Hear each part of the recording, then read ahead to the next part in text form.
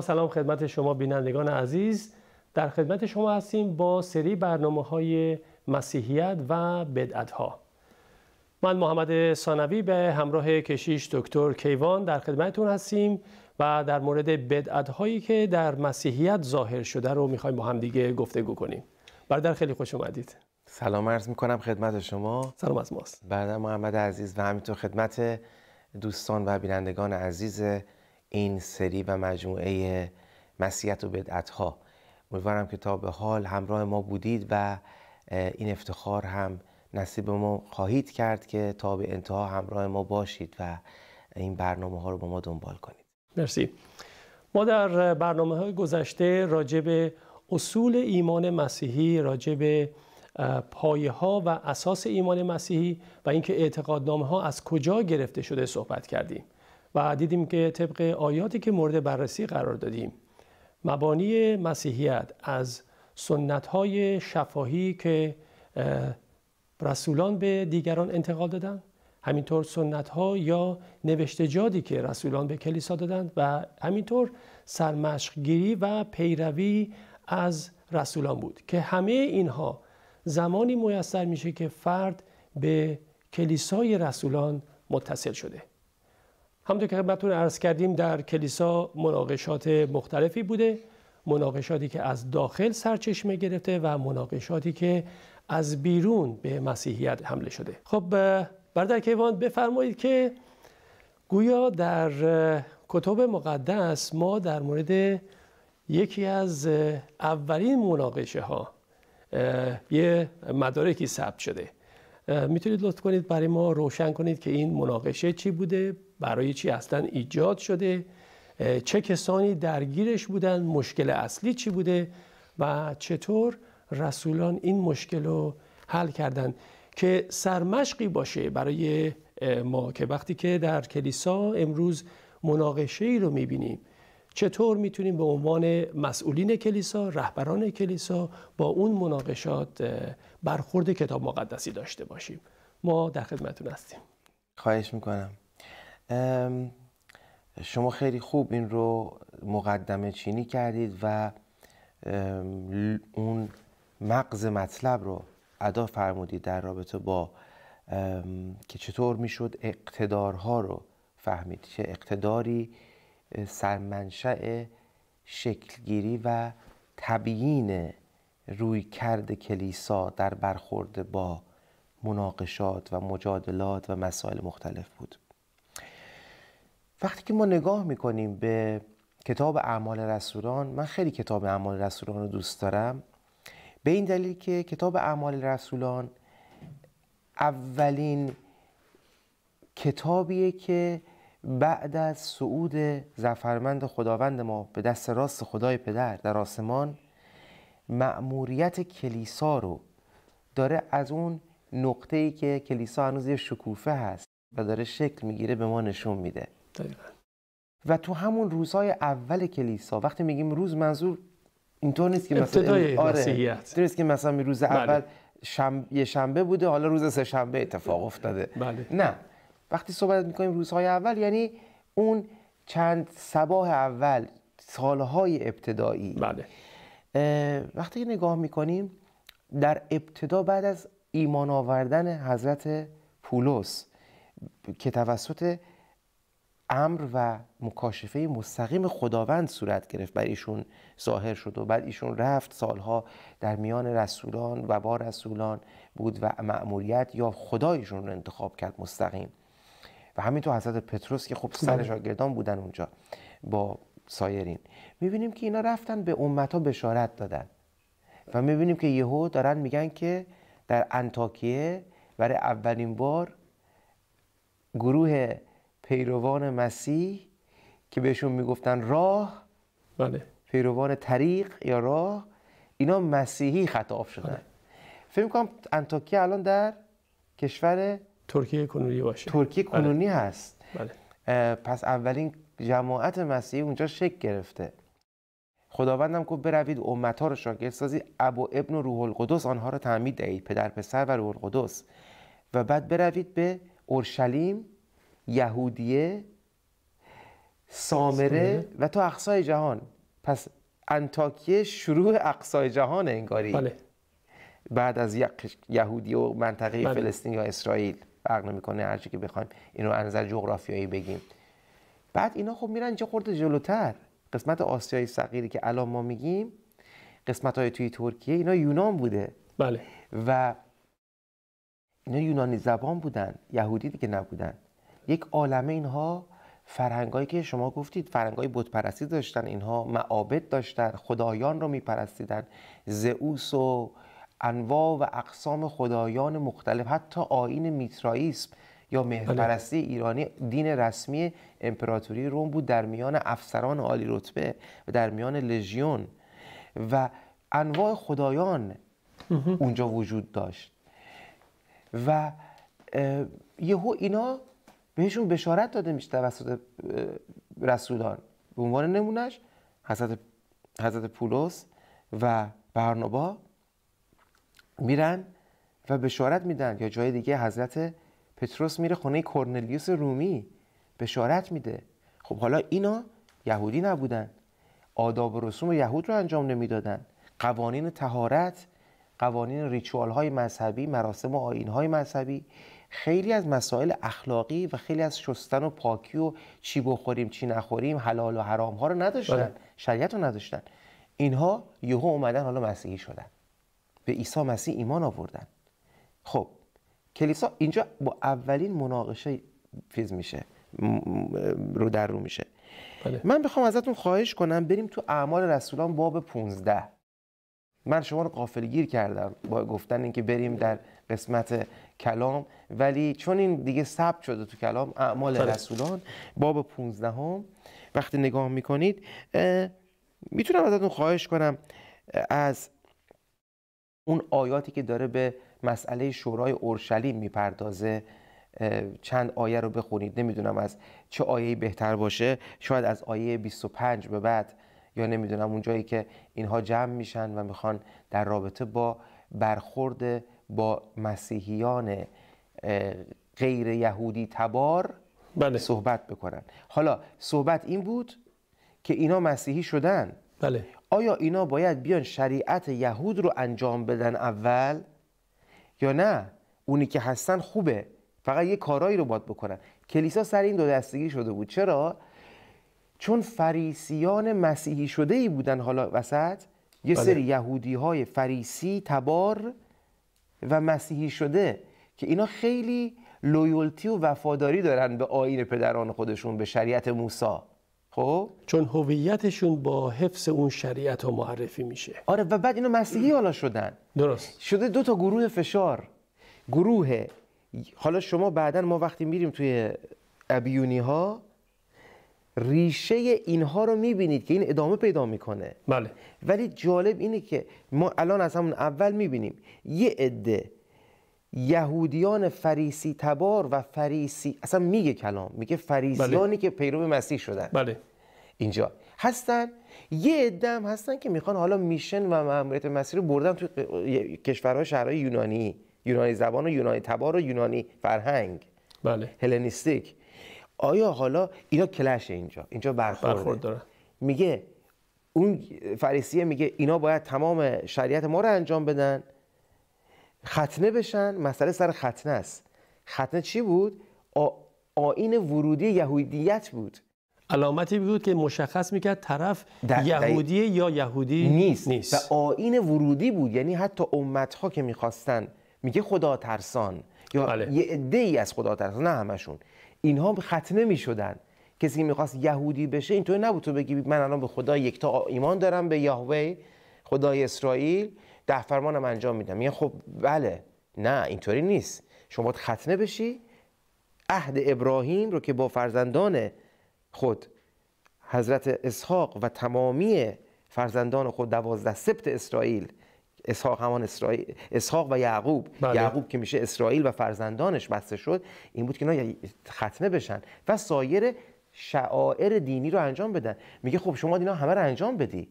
حالا مسیحا شده مسیحای موعود ما. پس شما باید همه اینا رو انجام بدی. اینجا یه طرف فشاره گروه بله. دیگه میگه آقا نمیشه. خب حالا کلیسا میگه بیایم سر این مناقشه رو حل بکنیم مشکل رو حل کنیم تصمیم گیری کنیم. اولین شورا اینجا شکل می‌گیره که ما اسم می‌ذاریم شورای اورشلیم که شورای رسولانه. حالا شما از این برای ما قرائت بله. بفرمایید. از آیه پنج به بعده. فرماید آنگاه بعضی از فرقه فریسیان که ایمان آورده بودند برخواسته گفتند اینها باید ختنه نمایند و امر کنند که سنن موسی را نگاه دارند. پس اینا اینو می‌گفتن. گروه بله. فریسی مسیحی شده. بله. حالا بقیهش میشه؟ رسولان پس هستن؟ رسولان و مشایخ جمع شدن تا در این امر مسلحت ببینند پس جمع میشن در یک شورا که مسلحت ببینن با هم. راهکار پیدا کنن. بله. مشایخ بله. و رسولان. و رسولان. یعنی در واقع دستگذاری شده های رسولان بله. و خود رسولان. خود رسولان. بله. و چون مباحثه سخت شد پتروس برخواست به دیشان گفت ای برادران عزیز شما خب حالا اینجا رو یه لحظه نگه دارید. من شما رو استوب می‌کنم میبخشم. نداره. ولی بخوام توضیح بدیم باز کنیم. ببینید حتی میگه مباحثه سخت شد. بله. دو گروهه. گروه فریسی تبار گروه فشار بگیم. بله. داره فشار میاره می‌خواد اینها رو ایمپوز کنه اینها رو بقبولونه بقبولونه اون چیزهای خودش رو خواسته های خودش رو. گروه دیگه تا جایی که حضرت پتروس بلند میشه و تو شورا صحبت می‌کنه. قبلش هم باز میگه البته اینا تو شورا در اورشلیم بله. جمع شدن. بله. بفرمایید. ای برادران عزیز شما آگاهید که ایام اول خدا از میان شما اختیار کرد که امتها از زبان من کلام بشارت را بشنوند و ایمان آورند. و خدای عارف القلوب بر ایشان شهادت داد بدین که روح القدس را بدیشان داد چنان که به ما نیست و در میان ما و ایشان هیچ فرق نگذاشت بلکه محض ایمان دلهای ایشان را طاهر نمود. نه حفظ اعمال نه حفظ شریعت ولی که فقط ایمان. داره میگه پس چی اون شریعتی که شما انجام دادید خب بعد حالا اجابه میده میگه ما که خودمونم الان انجام بله. نمیدیم. پس اکنون چرا خدا را امتحان می‌کنید که یوقی برگردن شاگردان مینهید که پدران ما و ما نیز طاقت تحمل آن را نداشتیم. بلکه که اعتقاد داریم که محض فیض خداوند عیسی مسیح نجات خواهیم یافت. همچنان که ایشان نیست.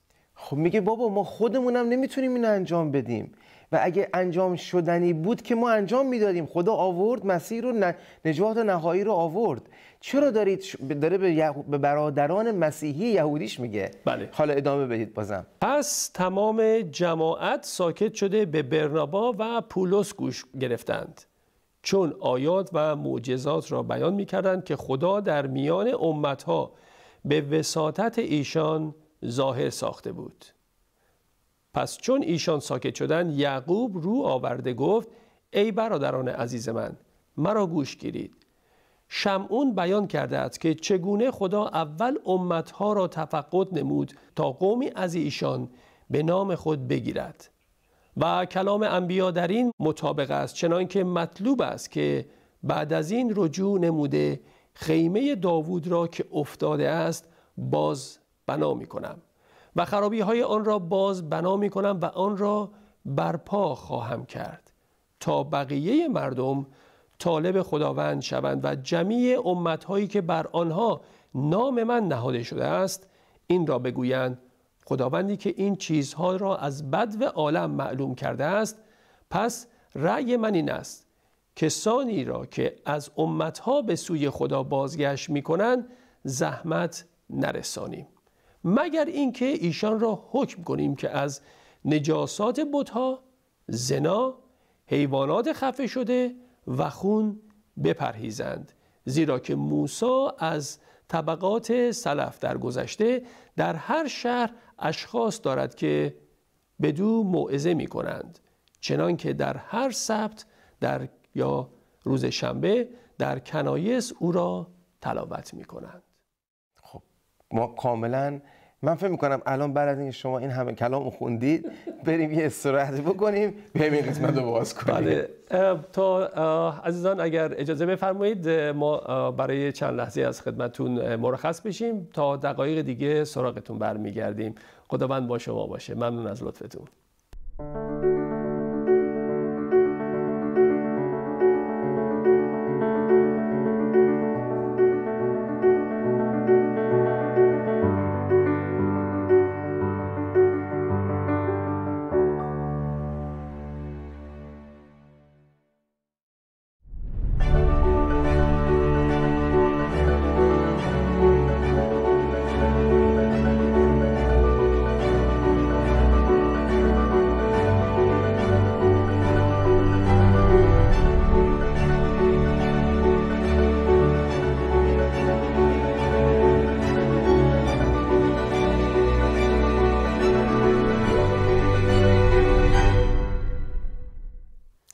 خدمت شما هستیم با اولین شورای کلیسایی مناقشه کلیسایی به نام شورای اورشلیم.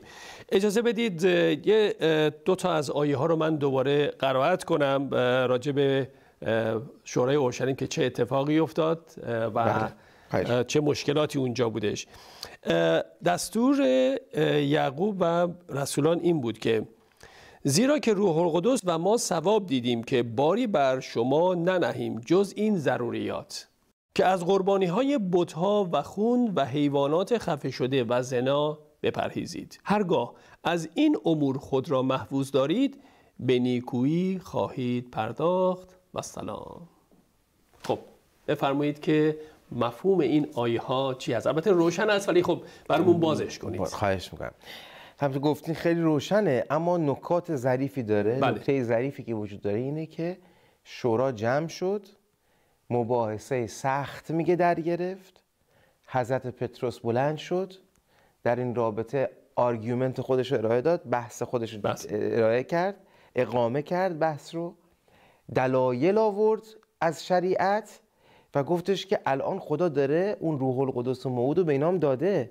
و دارن محض فیض نجات پیدا می‌کنن چرا باید دوباره عقب گرد کنن و بعد حضرت یعقوب که اسقف کلیسای اورشلیم بود اینو به ما تاریخ میگه بله. که حضرت بهش میگن جیمز د جاست بله. حضرت یعقوب عادل شهبر کلیسای اورشلیم بود اسقف اورشلیم بود گفت پس ایشون هم دلایل آورد بله. که خداوند به موسی این کار کرده اینها رو گفته در حضرت داوود اونها رو گفته که شما قرائت کردید. بله. و ما الان می‌بینیم که این تحقق یافته. پس حکم اینه و جالب اینه. حکم میگه روح القدس و ما. بله. روح القدس و ما این گونه صلاح دیدیم ثواب دیدیم. و بعد چهار تا حکم میده. کلیسا یعنی شورا به چهار حکم جدید می‌رسه. در رابطه با کد اخلاقیات و بله. کد در واقع دایت غذایی رژیم غذایی رژیم غذایی که اونا انجام می‌دادند یهودی ها انجام می‌دادند شامل خیلی چیزها بود ما می‌دونیم. بله. حیواناتی رو می‌گفت نخورید این کار رو بکنید نظر شستشوها بود یک عالم مسائل آینی بود. ولی اینجا میگه چی؟ خون نخورید حیوانات خفه شده نخورید. از زنا بپرهیزید قربانی بتها را نخورید. نخورید. در واقع چهار حکم میده به اضافه پیروی کردن عیسی مسیح خداوند. پس اولین شورا مصوبه تولید کرد. بله. بیانیه تولید کرد. یک بیانیه عملی اخلاقی به مسیحیان غیر یهودی تبار که اومدن از فرنگ مثلا زرتشتیه. کرده بله. ترکه لوره چه می‌دونم یونانیه بله. اومده این که قرار نیست هر چی کار یهودی ها رو انجام بده. دقیقا. مثل اونا لباس بپوشه. مثل اونا غذا مثل... بخوره مثل اونها تهارت های مذهبی اونا رو انجام بله، بده. غسل های مذهبی. غسل های مذهبی اونها رو انجام بده و چیزهایی که قرار بود تو شریعت انجام میگه شاید تحقق یافت. حالا شما نمیشه شریعت تحقق یافت و نمیشه بریزیش دور. اخلاقات سر جای خودشه. درسته. وقتی میگه زنا نکن فقط زنا نیست. یعنی چشمتان پاک نگهدار. بله. یعنی مسائل ایمپیوریتی یا گناه پاک بودن. پاک دامنی. پاک دامنی. پاک دامنی رو حفظ کن. یارو نمی‌تونی مثلا میگه زنا نکن میگه خب من زنا نمی‌کنم. کار دیگه رو می‌کنم نمیشه که وقتی میگه زنا یعنی مجموعه اخلاقیات جنسی. بله. همه اون باید پاک دامنی باشه. یعنی پاک دامنی. خون حیوانات خفه شده رو خون نخور. بله. کنیبالیزم یعنی خون خوردن بله. خونخاری که می‌کردن اون قومای بد قومای فرهنگای پرستی انجام می‌دادن. میگه اونا رو انجام نده. بعد خاطر نشان کرد که یه سری از این آداب در اون معابد صورت می‌گرفت. با مثال حیوان رو با چاقو می‌زدن خونش رو توی جام میریختن و بعد سر میکشیدن. دقیقا. پس ببین اینم شما نکته جالب الان گفتی. آدم آداب مذهبی بود اون بله. کار. یک عادت مذهبی یک ریچوال ما بهش میگیم. تشریفات مذهبی آها. رسوم مذهبی یک رسوم مذهبی بود پرستانه بود. بله. خفه شده نخورید. اینجا چی داره میگه؟ یعنی داره میگه شما نباید از آدابهای غیر بهداشتی گروه های دیگه هم پیروی کنید. پس میاد یک اصول میده. چهار تاش فقط ولی برجسته می‌کنه به خاطر زمانش. پس اینجا ما با اولین قانونمندی و بیانیه ایمانی ما چیکاش چی هستیم؟ اینجا طرف هستیم. اما جالب اینجاست برادر. شوراها این داره به ما میگه. شورا کار فقط یه سری آدم نیست بشینن حرف بزنن برای هم تصمیم بگیرن. روح القدس و ما به هدایت روح القدس و مشایخ و رسولان کلیسا بودن. خیلی عالی. خب حالا بفرمایید که این در اون زمان بود. الان ما این آیات رو چطوری در این سال که داریم باش زندگی می‌کنیم می‌تونیم پیادهش کنیم. چرا که در کشورهای فارسی زبان در کشورهای غیر فارسی زبان که زمینه نه یهودیت دارن و نه مسیحیت دارن. یه سری آداب و رسومی وجود داره. تکلیف کلیسا چیه با این آداب و رسوم؟ همینطور. درست خیلی سوال خوبیه. ما به همین شکل باید اصول رو استنباط بکنیم. اصول رو چجوری استنباط کنیم؟ اولا حالا ما اونجا توی اورشولای اورشلیم اینا همه کتاب مقدس رو نداشتن که. اینا هنوز روزای اول کلیساست. بله. سالای اول کلیساست. ولی بعدش ما یک عالمه رسالات و کتاب مقدس عهد جدید رو داریم. اولا یک عالمه از مسائل اونجا نوشته شده دیگه. مثلا دیگه داریم داره حضرت پولس داره کد لباس پوشیدن و پاکدامنی و خود رو به زیورالات چشی نیا آراسته نکن و بله. در واقع مادستی یعنی سادگرایی ساده بله. باشید میرید کلیسا بله. اینقدر فکر نکنید کلیسا رفتن شما دارید جشن چه می‌دونم عروسی داریم میرید عروسی نمیرید بله. عروسی خداوند میریم عروسی خدا با کلیساش میریم بله. ولی انضباط و اخلاقی شخصی در رابطه با لباس پوشیدن اینجا مطرحه. یک عالمه پولس داره میگه به ما تو رسالات بعد. پس بله. ما داریم یه سری اصول دیگه مستقیم. بله بله. یه چیزایی هم که نداریم استنباط باید بکنیم. بله مثلا شاید یک سری تکنولوژی الان نباشه. اون موقع نبوده. الان اومده که توش کتاب مقدس ننوشته. ولی اصول اخلاقی از توش استنباط میشه که چجوری باید رفتار بکنی در رابطه با تک... بعضی از علوم جدید بعضی از نمی‌دونم به عنوان مثال سوء استفاده از طبیعت. اینجا صحبت بله. نکرده خیلی مستقیم. ولی کلیسا می‌تونه استنباط کنه. به عنوان مثال به عنوان مثال کلیسا باید یک کلیسایی باشه که نمونه باشه در رابطه با مسئله استفاده از منابع. بله. کلیساها مثلا من یه نمونه بخوام بگم حالا شما خیلی نمونه گفتید من یه از من پرسیدید من این نمونه در مورد بله. کلیساهای غیر ایرانی می‌خوام بگم بله. کلیساهای غیر ایرانی که من خب باشون هستم در واقع اینا خیلی environmental friendly هستن یعنی به چی؟ طبیعت. به طبیعت و environment و به محیط زیست, محیط زیست. رو خیلی کلیساها خیلی پروموت می‌کنن خیلی این رو تعلیم میدن که مثلا کافی خودشون رو قهوه خودشون رو چایی که صرف میشه بعد از کلیسایی معمولا از جایی می‌خرن معمولا. حالا اینطوری هست خیلی از مغرب زمین می‌دونم که اینجا خیلی کشورها همینطوری هست مسیحا این کارو می‌کنن. از فرترید خرید می‌کنن. فرترید چیه؟ سازمان که میره قهوه رو به کشاورزی که قهوه رو مثلا کش کرده پول حقشو میده. بله. اینا رو استعمار نمی‌کنه. مثلا نمیره از کشور گواتمالا کشاورز بدبخت قهوه رو استخراج می‌کنه براش میفته یک دلار. بله. بهش میدن برای کل مثلا ده تن. فکر بله. کنید. من دارم اگزاجره بله. می‌کنم. بعد اینو میارن 100 پوند میفروشن. پول به, به کشاورز نمی‌رسه. دلال اونجا دلال اونجاست کلیساها اومدن یک سازمان هایی تاسیس کردن به نام مثلا فر ترید بله. یعنی تجارت آزاد. تجارت نه فر یعنی تجارت منصفانه. تجارت منصفانه. فر. بله. تجارت منصفانه که شما اینجا جاستیس و عدالت رو برقرار کنی. بله. نه این وسط یه بخوره. که مسیحیت داره حق رو به فقیر میده حق رو به زحمتکش میده. پس کلیسا حواسش هست بله. که اولا به اینها برسه مواظبت کنه. می‌خوام بگم مصداقهای اینطوری حالا من این الان تو ذهنم بله. اومد بله.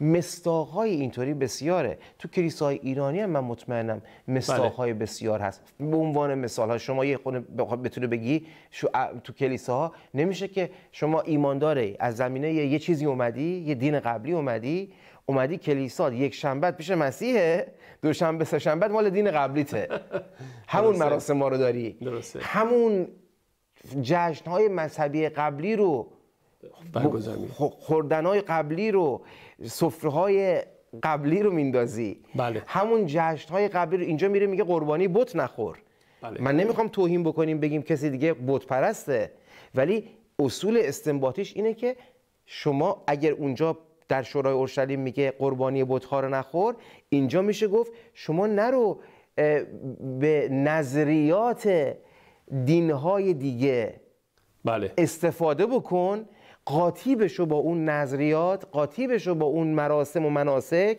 از اون برم یک شنبه برو کلیسا. اینطوری ببین یعنی من الان خیلی ساده یه مستاق عملی آوردم. بله. اما اینا چیزیه که باز کلیساها باید با هم به یک درکی برسن. که من مطمئنم به عنوان مثال شورای تعمیدی شما یه سری قوانین داره. کلیساهای بله. تعمیدی. شورای کلیساهای نمی‌دونم انجیلی مشایخی, بله. داره چیزایی. صد درصد و خب بله مرسی. داشتید مثال می آوردید گفتم یه مثال جهانی عنوان کنم که در کتاب مقدس این نمونه در این مورد صحبتی نکرده ولی کلیسا با گذاشتن شورا به اون نتیجه رسید. مسئله سخت جنینه.